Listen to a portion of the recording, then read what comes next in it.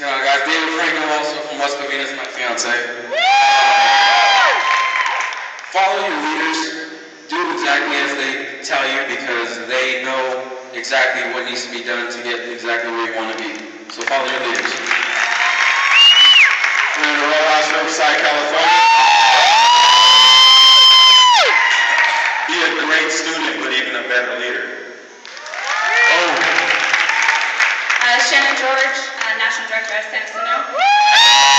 Follow your leaders and follow the system. Stephen Cathy Reno, Nevada. Plug in, check in daily. Daily plug in and check in with your leaders.